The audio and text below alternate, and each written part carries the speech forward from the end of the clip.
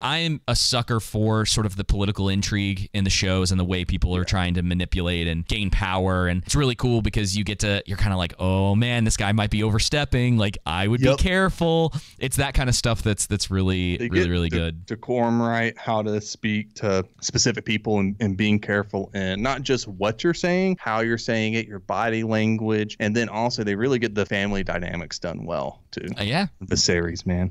He's my Oh, bro. I know, man. just- Oh, dude, episode eight. What an episode!